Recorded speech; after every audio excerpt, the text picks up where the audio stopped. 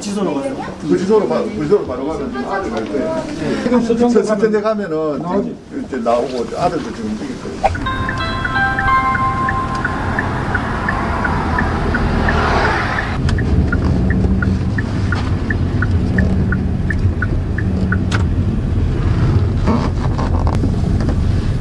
여기서 예. 예. 저기 있다, 저, 넣었어. 벌써 넣었어. 어이.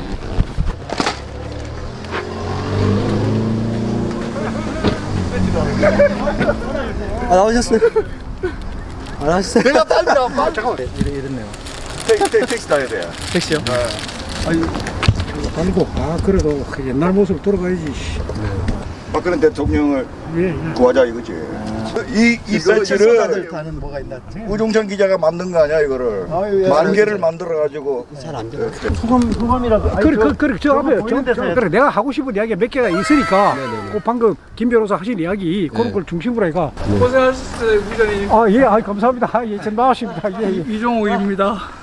어, 바로 바로 와야 된다. 아니, 아, 저, 그, 인터넷 사진 보내주신 그분입니다. 예. 아, 잘 받고 있었습니다. 예. 가, 가, 그거 좀 줄래?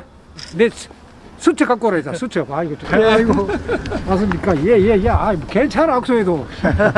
아, 혼자 시원하니까 다리가 아파가지고 내가 그래. 아, 그럴 수 있어요. 예. 여기, 여기서 우파 국민들, 태극기 국민들께서 저를 지지해 주셨기 때문에 제가 나왔습니다. 나왔지만은 앞으로 제가 할 일이 세 가지가 있습니다. 제일 먼저 해야 할 일은 일단 상고장. 오늘 제가 상고장을 바로 접수시킬 겁니다. 그러니까 결국 대법원에서 이 판결을 어떻게 할 것인지 과거 판례들도 있고 하니까 일단 대법원에 최종적으로 제가 무죄 판결을 받는 걸 하나 하고 다음 두 번째 할 거는 오늘 그 항소심 판결문에도 조금 언급이 되었지만은 저는 사실 박근혜 대통령 사건 그러니까 탄핵과 수사와 재판 그게 잘못되었고 제가 그 작업을 해왔다는 거 그게 판결문에 좀 노출되기를 저는 바라고 있었거든요. 그래서 대충 막 언급은 되던데 그런 부분들 그러니까 증거도 없이 우리 박근혜 대통령을 탄핵하고 수사하고 재판한 거 그러다 보니까 지금 뭐 관련 사건들 어제 문화일보에도 났지만은 관련 사건들이 1심, 2심이 재판이 굉장히 지금 늦어지고 있어요. 그래 그런 것들을 제가 이제 기록으로 역사의 기록으로 바로 잡는 거 제가 두 번째 할 일은 그거고 세 번째 할 일은 여기 와서 제가 이제 서울 구치소 수용자들 이분들은 저를 모릅니다. 솔직히 뭐 제가 밖에서 할- 활동한 걸 모르니까. 근데 이분들도 이제 뉴스를 보고 그리고 신문을 보고 또 야, 서울 구치소에 여기 수용된 분들이 한 2,200명입니다.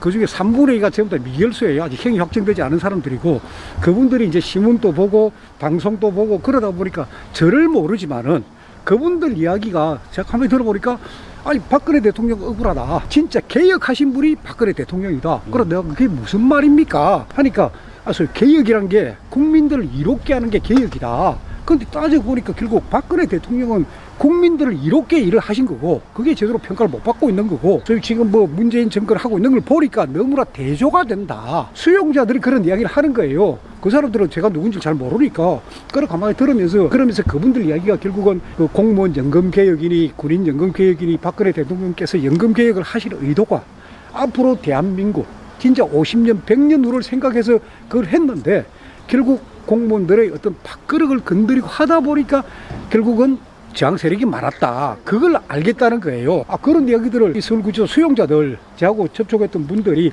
그런 이야기를 막 하기에 아하, 이제 이제 제대로 된, 그러니까 박근혜 대통령의 통치, 제대로 지금 평가가 안 되고 있어요. 4년 하다가 중도, 중도에서 그만두셨기 때문에 그분의 그 통치, 그게 다시 재평가 작업을 제가 해야 됩니다.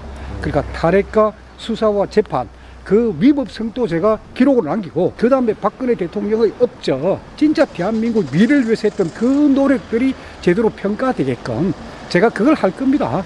그리고 이제 상고장을 제출해 가지고 제가 결국 이 사건에 제가 있는지 없는지 그거 할 겁니다. 예. 그 생활은 어떠셨어요? 구치소 안에서? 아니 구치소 생활은 아주 괜찮았습니다. 구치소 생활이 괜찮고 보니까 교도관들도 상당히 민주적이고 하니까 결국 나쁜 것도 없고 충분히 생활할 수 있고 그리고 박근혜 대통령께서 계시는 그 그 수용동 그 위치가 어디고 거기서 어떤 일을 하고 계시는지도 제가 나름대로 대충 파악을 다 했습니다. 해서 하루 생활을 어떻게 보내시고 주말을 어떻게 보내시고 하는 걸 나름대로 다 파악을 했는데 그 시간이 나는 대로 다 알려드리고 그러니까 대통령께서는 건강 괜찮으십니다. 체중도 정상이시고 괜- 괜찮으시고 지금 나름대로 본인께서도 이거 하시는 것 같아요. 기록을 하시는 아, 것 같고 그래서 한번 지켜보자 이거예요. 그 안에서 식사 같은 건 어떠세요? 사실 여기 서울구치소에 오면은 쌀밥, 보리밥, 보리밥도 섞어서 줍니다. 그리고 혼식이에요. 그게 흥미, 시커먼 쌀, 흥미도 들어오고, 그러니까 건강을 위해 가지고 굉장히 그러니까 음식이나 이런 거 아주 잘 돼 있어요. 잘돼 있는데 제가 보기에 아니 여기 있는 분들 중에 3분의 2, 3분의 1은 전부 다 내가 제가 없다는 사람들이에요. 지금 재판 중인 미결수들이에요. 네. 저런 사람들 왜 여기 가, 가다놔요? 그리고 우리가 손혜원을 보세요. 국회의원 했던 손혜원. 징역 1년 6월 실형 선고하면서 방어권 차원에서 손혜원을 풀어준다 해요. 그러니까 여기 있는 분들도 전부 다 방어권 차원에서 풀어주고 결국 확정 판결, 대법원에서 확정 판결 될 때, 그러면 내가 징역 1년이면 그때 내가 교도소 가가 그때 살면 되지. 그래 되면 대한민국 교도소가 52개 교정기관이 있는데 그 중에 있는 한 3분의 2의 수용자들은 거의 다 풀려 나와야 됩니다. 나와서 불구속 수사를 받고 불구속 재판을 받고 헌법에 나와 있는 무죄 추정의 원칙을 지키게끔 검찰과 법원이 지키, 지키게끔 하고 그런 작업을 해야 돼요 이제는. 그 안에서 그런 얘기를 좀 해보셨나요? 거기 계신 분들하고? 아, 교도관들하고도 이야기해보고 수용자들 다 이야기해보는데 손해원 그 판결문 나온 그날 저녁에 서울구청 난리가 났어요. 왜 손해원만 인간이냐? 우리는 사람 아니냐? 방어권 때문에 사람 난리가 났어요. 그런 분위기예요, 사실은. 다만 여기서 일어나는 일들이 밖에 알려지지 않으니까 모르는 거지. 그러니까 저는 직접 이 안에서 생활하면서 그걸 다 봤기 때문에 이 수용자들의 불만이 뭐냐? 그분들은 내가 지은 죄만큼 나를 처벌해라 이거죠. 그건 내가 감수를 하겠다. 그러나 내가 지은 죄하고 다른 걸 하고 있으니까 아, 그런 불만들이 많이 있고 다 재판을 받고 있는데 지금 우리나라 이 판사들 보세요. 엊그제 그 뭡니까 서프라이 저 서프라이즈 대표하는 신상철 네, 그러니까 네, 네. 천안함 좌초설 주장해가지고 물론 1심에서 집행유예인데 2심에서 무죄 아닙니까? 와 그 판결문 보고 전부 다 막 머리가 그러니까 서울 고등법원 제5 형사부의 재판장 재판장을 생각하고 다른 재판장의 생각 사실 달라요. 지금 드러난 그런 문재인 정부라고 코드가 맞는 재판장들의 생각만 지금 알려지고 있는데 그게 지금 많은 국민들로부터 좀 거부 반응을 받는 거죠. 이건 아니다. 뭐 그런 분위기를 제가 좀 느꼈습니다. 그래서 어느 정도 추스리고 나면은 제가 이걸 다 정리를 해가지고 국민들한테 알리는 유튜브 작업을 계속할 겁니다. 안전뱅이 징역입니다. 앉아 있어야 돼요. 앉아 있어야 되는데 교도관들이 그러니까 몸이 불편하다든지 나이가 많으시다든지 하는 분들이 이불 깔고 누워 있는 거 교도관들이 크게 제지를 안 해요. 그냥 그런 것들도 다 이해를 해주고 있고 그러니까 아주 인간적인 데는 맞아요. 그리고 식사도 괜찮고 상당히 괜찮은데 워낙 이게 오래된 건물이고 저도 구치소 방에 탁 들어가 느낀 게 양계장의 닭을 제가 연상했다니까요. 그냥 고개 내밀고 모이 빡빡 먹는 그런 구조에 방이 너무너무 작아요. 방 작은데 다섯 명이 어른 다섯 명이 앉아 있으니까 세 평이 안 되는 방에 화장실 포함해서 세 평이 안 됩니다. 거기에 다섯 명이 있으니까 똑바로 잘 수도 없고 그러니까 그런 것들은 우리나라 교정 행정이 좀 바꿔줘야 된다. 우리들이 편지 보내면 네. 편지가 어떤 상태로 들어나요? 봉투가 다 열려서 오나요? 열려서 오지만은 보지는 보는 건 아니고 그러니까 봉투 속에 예를 들어 가지고 히로뽕이나 뭐 이상한 이물질 그게 있을까 싶어서 검사를 하는 거지 그대로 다 들어옵니다. 뭐 사진 보낸 거 지난 시간 보낸 사진들부터 시, 시작해 가지고. 일 일로 신문에 보도된 이 정부 조직의 기사들 그거 다 아, 들어와요. 그랬어요? 전부 다. 네. 다 들어오니까 소식을 다 받을 수 있고 그리고 신문들 다 볼 수 있고 그리고 지금 바뀐 게 이제 공중파 방송 이걸 세 개를 옛날에 KBS 하나만 틀어줬는데 지금은 세 개를 그것도 실시간으로 뉴스를 볼 수 있게끔 해줍니다. 그러니까 아침 9시 반에는 KBS 생방송 뉴스 그러니까 코로나 환자가 지금 몇 명이다부터 시작해가지고 큰 뉴스를 아침 9시 반에 다 봐요 우리도 다 보고 그러니까 돌아가는 거는 다 알 수 있고 밖에서 뭐 편지를 보내든 아니면 뭐 인쇄물을 보내든 그때 책은 안 됩니다. 네. 책은 안 되고 나머지 것들은 다 들어옵니다. 아, 그러니까 그런 책이 안 돼요? 제가 책을 보내. 불경에 보낸 거 그거 안 됩니다. 제가 못 받았습니다. 그거를 받으려고 했는데 예, 예. 아, 그리고 안에 있는 분들이 밖으로 편지를 보낼 때는 그걸 뭐, 아, 그거는 저, 나가나요? 그거는 절대 교도관들이 뜯어보지 않습니다. 그러니까 내가 편지를 딱 쓰면은 내가 그 풀을 딱 붙입니다. 그러니까 그 상태 그대로 나갑니다. 그리고 군보부 제국에서 당신이 보낸 그 편지, 편지가 정확하게 전달됐습니다는 이것까지 날라와요. 끝까지 다 날라오니까 그러니까 편지 부분에 대해서는 옛날처럼 뭐 중간에 보고 뭐 없애고 하는 그건 아니에요. 예. 그 교도소 내에서 우편물을 배달하는 시간이 정해져 있던가요? 예, 정해져 있습니다. 몇 그러니까 아침에 9시 한 20분쯤 되면은 조선일보, 동아일보, 중앙일보, 코리아 헤럴드, 그다음에 한국경제신문, 신문들 신청한 신문들이 쫙 들어와요. 그거 보고 그다음에 오후 2시에서 3시 사이에 인터넷 서신, 그래 밖에서 보낸 인터넷 서신하고 밖에서 보낸 편지 그리고 서류 봉투에 넣은 것들 그게 2시에서 3시 사이에 한꺼번에 다 들어옵니다. 다 들어오고 내가 받았다는 사인까지 다 해주고. 예. 그러니까 이 우편물 갖고 뭐 여기서 장난치고 그거는 전혀 없습니다. 예. 여기 있으면서 본인이 사고 싶은 책들 내가 무슨 책을 사고 싶 구하고 싶다 하면은 책 그 이름 써주면 돼요. 대통령을 묻어버린 그 재산 1권이고 딱 표시해주면 바로 책이 들어와요. 그거는 자 영치금세 계산이 되고 그리고 내가 보고 싶은 예를 들어 뭐 찬송가라든지 불경이라든지 이런 부분들도 그 서면은 거의 뭐 3일, 4일 만에 다 들어오고 내가 필요한 또 의약품, 의약품 또 내가 신청하면은 내 돈 들여 신청하면은 의약품 다 들어와요. 종합 비타민부터 다 들어옵니다. 교도소 내에서 제일 불편한 게 뭐였었어요? 마음대로. 아니, 아니. 자유가 없다는 거예요.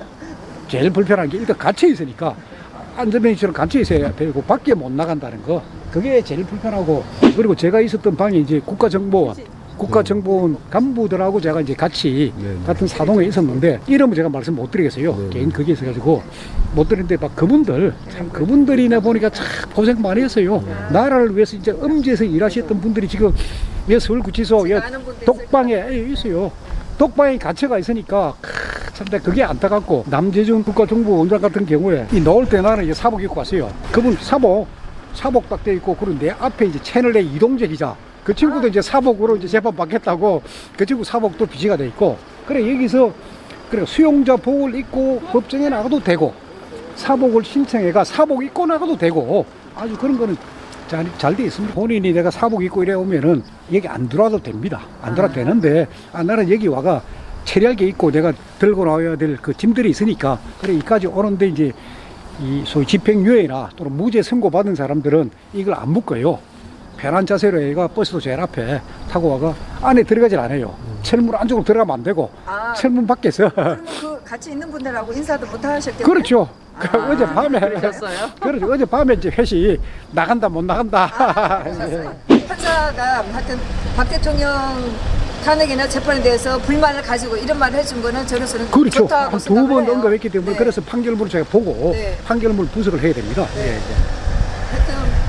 생각보다 빨리 나오셔갖고 뭐 생각보다는 아니지만 그러니까 각자가 각 분야에서 전부 다 노력들 하고 계시고 특히 그 전면 광고 그 조선일보에만 실렸던데 이게 문재인 이 나라 약하는 전면 광고 네. 아 그걸 내가 우리 보고 수용자들 다 봤어요. 그래 그걸 보면서 구속된 그 수용자들도 전부 다 얘기가 이게 맞다 이게 그러니까 박근혜 대통령의 그 가짜 뉴스는 이 사- 사람들 많이 믿고 있어요. 그래서 그건 내가 아니다 하는 거는 이런 이런 증거로 아니다 하는 거 설명해 줬는데 나머지 지금 문재인 정권이 워낙 못하다 보니까 그런 비판 그걸 조선일보에 전면 광고까지 나오니까 오, 읽어본 사람들은 이게 정확한 지적이다.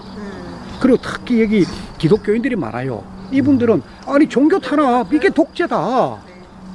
막 아주 불불해요. 그런데 뭐 저항할 힘이 없으니까 이런 상태입니다. 그러니까 지금부터 이제 지금부터 하나의 기록으로 남기고 박근혜 대통령에 대한 재평가 작업이 필요합니다. 그러니까 박근혜 정부에 대한 이거 정책 그 평가는 아무도 안 했어요. 임기를 못 채웠기 때문에 그 정책 백서 해가지고 한 아홉 권짜리 책이 있는데 그것 갖고는 부족하고 이제 제대로 된 박근혜 대통령의 정책에 대한 평가 그걸 해줘야 돼요. 그 제가 보내드린 거 이르신문 했다. 아, 봤습니다. 그거. 어우. 그거가 원래가 벌써 2018년도 봄쯤에 나왔더라고요. 그러니까 그게 61장짜리 그게 소위 말해서 있어요. 탄핵 전국 2016년 탄핵 전국에서 소위 말해서 촛불들 네. 촛불 시위가 어떻게 이루어졌고 어떤 식으로 국민들. 속였고 다 하는 게. 그게 지금 보도가 된 게 이진아 씨가 보내줬기 때문에 내가 그걸 본 거예요. 와 이런 뉴스 있구나. 그리고 박근혜 대통령이 헌법재판소에서 탄핵 결정된 날 2017년 3월 10일 날 그날 조선일보 조백근 기자 쓴 글이 있어요. 그날 김명수 대법원장이 그때 춘천지방 아, 지방 법원장이 대법원 그 법원 행정처 판사들 회의에 나타나 가지고 지 마음대로 했다는 거 아닙니까? 그게 그 기사가 딱 나와 있더라고. 그래서 기자들도 이제는 그 당시에 돌아가는 정확한 사실을 글로 쓰고 있구나. 그게 아주 저도 반가웠어요. 그래서 그런 젊은 기자들이 이제 나서가지고 그러니까 사실에 입각해서 많은 주장을 국민들한테 알려주는 거. 저에 대한 기사 기사도 제가 보면서 그러니까 항소심 첫 재판 열렸을 때의 기사를 제가 쭉 봤어요. 봤는데 네. 전부 다 어느 언론도 박근혜 대통령 탄핵이 수사니 재판의 이 부당성에 대한 이야기가 없어요.